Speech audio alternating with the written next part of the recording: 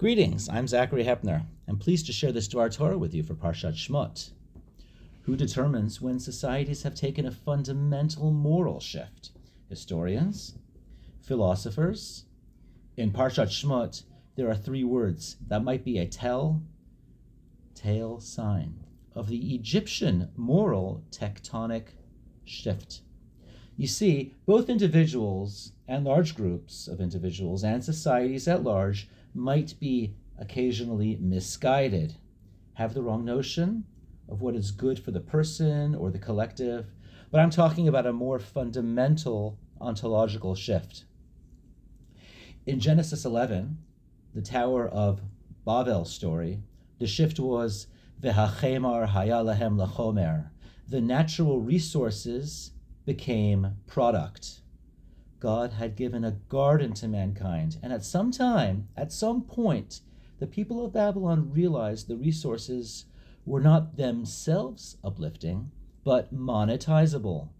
They can be used to make widgets, credit and equity markets purely for the sake of the markets themselves. Sand is not to walk and enjoy the beach, but to produce computer chips.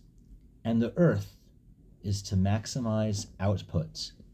They might have been motivated by fear, lest we scatter everywhere, but that something very special around us became an agent of progress and nothing more.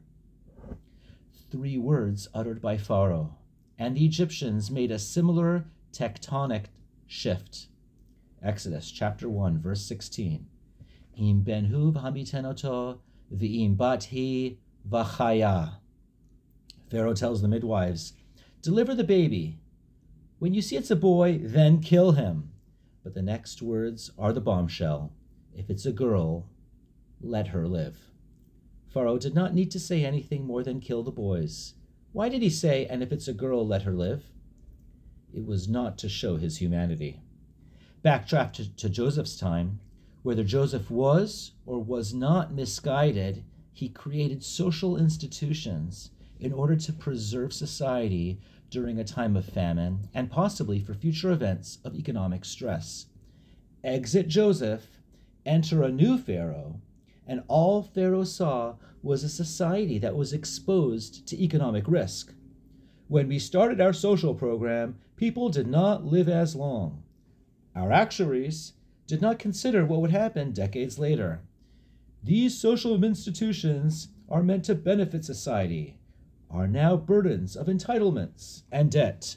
Had Pharaoh only said, kill the boys, he would have been possibly misguided. As Rashi says, he was afraid of the oracle that a Hebrew boy would become a great disruptor.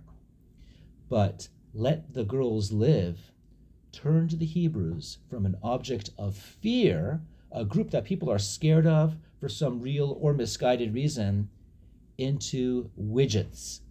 Have more babies. We need that economic growth. And our long term projections need more slaves. And to make more slaves, we need more slave women or slave factories. One day, the oracle of the great disruptor will pass, and we will have a huge ratio of fertile slave women to men, and economic growth will go to the moon those words, Kol Habat Techayun, society hides behind its supposed morals with good intentions. Pharaoh was hiding behind his fear mongering, but in Pharaoh's back pocket was the Hebrew women who were his ticket to economic growth and prosperity for all. That is, for all who are not slaves. Wishing you a Shabbat Shalom.